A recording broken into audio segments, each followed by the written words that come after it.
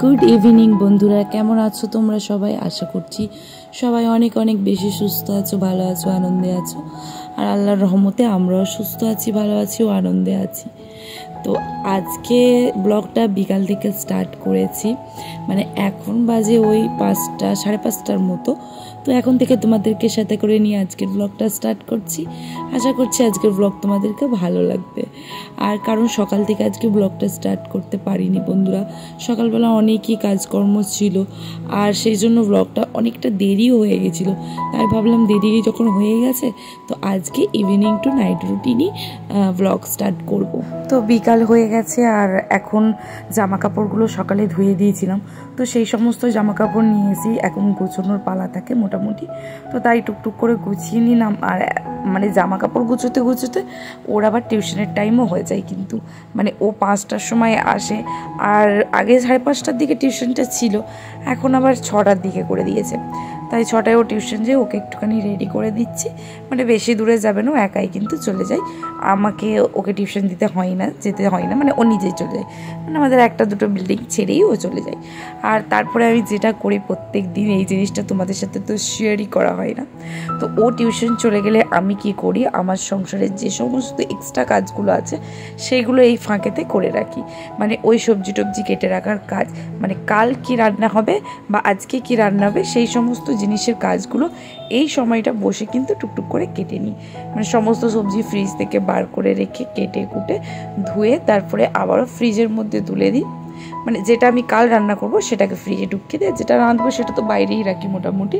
তো এই কাজটা এই সময়টার মধ্যে করে নিই কিন্তু। একটু সময় বাঁচাবার চেষ্টা করি, কোনো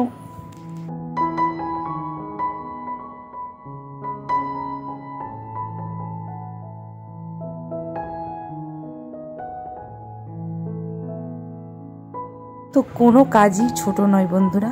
সততা ও পরিশ্রম দিয়ে প্রত্যেকটা কাজ কিন্তু সহজ আর ইজি হয়ে যায় কিন্তু। তো এরকম একটা ব্যাপার। তো সংসারের কাজ তোমাদের সাথে শেয়ার করি। এর মানে এটা নয় যে আমি শুধু কাজকর্মই দেখাই। মানে আমি কি করছি বা আমার লাইফস্টাইলে কি, তো সেটাই তোমাদের সাথে আর কি শেয়ার করি আমি। তো তাই এই কথাটা বললাম আজকে যে কোনো কাজই ছোট নয় কিন্তু। আর দেখো, তারপরে বাসনগুলো মেজে নিচ্ছি এখানটাতে। মানে এই দুপুরবেলা খাওয়া দাওয়া করেছিলাম, আর দুপুরে না একটাই বাসন হয়। মানে আমি যেটা খাই সেই বাসনটা আমি আর ওটা ধুই না। তো ওটা রেখেই দিই। একবারে আরিয়ান এলে ওই যে কটা বাসন ওর টিফিন টাপার বাসন হয়, সেগুলো কিন্তু ধুয়ে নিই। আর এই এক দফা বাসনই কিন্তু শেষ না। এরপরে আবারও বাসন টাসন আছে মানে যতক্ষণ খাবে ততক্ষণই বাসন বেরোবে। এই কথা আগে আমি বলেই রেখেছিলাম তোমাদেরকে। তো বাসনগুলো মেজে দিয়ে এসে এখানে ঘরটাকে একটু গুছিয়ে নিচ্ছি। মানে দুপুরবেলা তো আমি একাই ঘুমোই, তো তেমন করে কিছু কিন্তু অগোছালো হয় না বিছানা। তো ওই যে চাদরটা নিয়ে একটু ঘুমোই, একটুখানি গুছিয়ে দিই। আর এই সময়টি কিন্তু একটুখানি ঝাড়ু মেরে দিই ঘরগুলো। তো ও টিউশন থেকে কিন্তু চলে এসছে এই সমস্ত কাজগুলো করতে করতে কিন্তু বন্ধুরা। মানে এক্সট্রা আরও কিছু কাজ করছিলাম তার মধ্যে সেগুলো তো তোমাদেরকে দেখানো হয়নি। আর ঘরটা এতটা নোংরা হয়ে গেছে মানে স্কুল থেকে এসেও যে পেন্সিলগুলো ছিলে নিয়ে আসে না, ওইগুলো আবার মানে ও বইমের মধ্যেই নিয়ে চলে আসে। তো ওইগুলোকে ওই পেন্সিল বক্স থেকে কিন্তু এসে ঘরের মধ্যে ফেলে। এরকম একটা ব্যাপার। তাই আর কি অনেকটা নোংরা হয়ে যায় আবার আমাকে ঝাড়ু মারতে হয়। তো ছোট ছেলে থাকলে আর যেটা হয়। তো এখানে সন্ধ্যার একটুখানি নাস্তা বসিয়ে দিয়েছি। আজকে একটুখানি হোয়াইট সস পাস্তা বানাবো। তো তার জন্য আমার হাতের কাছে যা ইনগ্রিডিয়েন্ট আছে, সেগুলো দিয়েই বানাবো। তো ভাবলাম একবার তোমাদের সাথে এটা শেয়ার করি। তো দেখো আমি একটুখানি বাটার নিয়ে নিয়েছিলাম প্রথমে।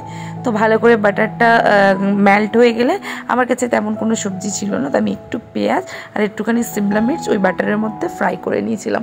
তো তারপরে আমি দুধ দিয়ে দিয়েছিলাম অল্প করে। দুধটা ফুটে যাওয়ার পর আমি ওর মধ্যে দিয়ে দিয়েছি প্রায় আধ কাপের মতো মিওনিস তো তারপরে ভালো করে একসাথে মিক্স করে নিয়ে ওর মধ্যে একটু চিলি ফ্লেক্স একটু অরিগ্যানো আর দিয়ে দিয়েছিলাম একটুখানি লবণ আর একটুখানি দিয়েছিলাম গোলমরিচের গুঁড়ো। তো সবকটা একসাথে মিক্স করে নিয়ে আগে থাক থেকে পাস্তাটাকে আমি সিদ্ধ করে রেখে দিয়েছিলাম বন্ধুরা, ওই লবণ আর তেল দিয়ে তো পাস্তাটাকে ভালো করে এবার এর মধ্যে দিয়ে একসাথে সমস্ত কিছু মিক্স করে দিচ্ছি। তো এর মধ্যে কর্নও কিন্তু দেয় আর কর্ন তো আমার কাছে নেই, তো সেটা দিতে পারলাম না। আর এই পরিস্থিতি কিন্তু একটু চিজ দেয়। তো আজকে বাড়িতে চেস্টটা ছিল না, তাই আমি একটু বেশি করে মিওনিসটা অ্যাড করে দিয়েছি। তো আরও প্রায় আধা কাপের মতো মিওনিসের মধ্যে দিয়ে দিয়েছি। তো চিজের কমতিটা না হয়, সেজন্য মিওনিসটা একটু এক্সট্রা দিলাম ধরতে গেলে। তো একটুখানি ঢাকা দিয়ে রেখে দিয়েছিলাম, ওই এক থেকে দু মিনিটের মতো। আবারও ঢাক্কানটা খুলে নিয়ে একটুখানি নেড়ে নেব। তো মোটামুটি আমার হোয়াইট সস পাস্তা রেডি হয়ে গেছে মানে লবণ টবণ যে সমস্ত জিনিস থাকার ছিল, সমস্ত কিছু পারফেক্ট আছে। তো এখন মোটামুটি এটাকে নামিয়ে নেব আর মোটামুটি এটা আমার কুকিং শেষ। তো সার্ভ করে এখন খেতে চলে যাব। তো রেসিপিটা কেমন লাগল অবশ্যই কমেন্ট করে জানাতে ভুলিও। তোমাদের কমেন্টের আশায় কিন্তু রইলাম।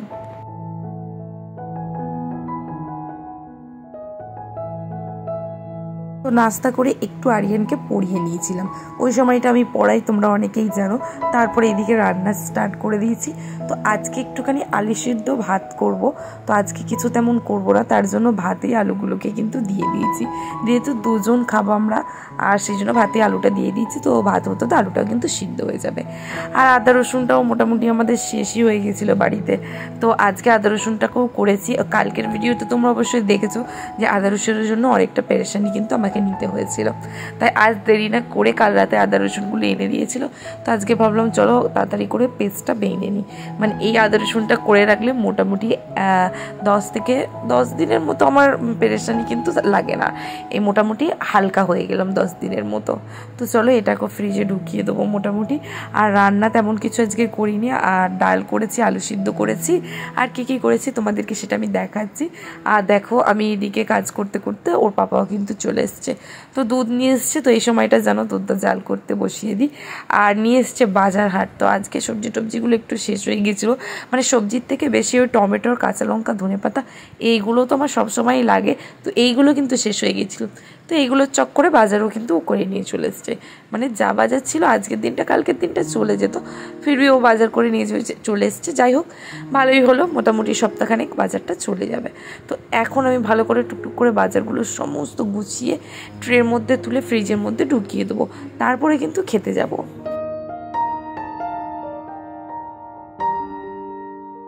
তো আগেই বললাম তোমাদেরকে যে ডাল আর আলু সিদ্ধ করেছি। তো ও আবার একটুখানি ডিম ভাজা খাবে বলছে। তো তাই জন্য পেঁয়াজ দিয়ে একটুখানি অমলেট টাইপের ওকে করে দেবো। তো এখানে আমি পেঁয়াজ নিয়েছি, দুটোর মতো ডিম নিয়ে নিয়েছি। আর আমি এইভাবে হাত দিয়েই কিন্তু মাখাই বন্ধুরা। আমাকে ওই কিছু দিয়ে মাখাতে কিন্তু ভালো লাগে না। হাত দিয়ে মাখার যেটা আমি করি সেটা তোমাদের সাথে দেখাতে কোনো আমি কোনো লজ্জা করি না। যেটা আসল সেটাই কিন্তু তোমাদের সাথে আমি শেয়ার করছি। তো আমি এভাবে হাত দিয়ে কিন্তু মিখিয়ে নিয়েছি ডিমটাকে। তারপর প্যান গরম করে নিয়েছিলাম ওর মধ্যে। মানে আমি দুটো অমলেট করব, তাই জন্য অর্ধেক অর্ধেক করে নিয়েছিলাম। অর্ধেক নিয়ে একটা অমলেট করে নিয়েছি।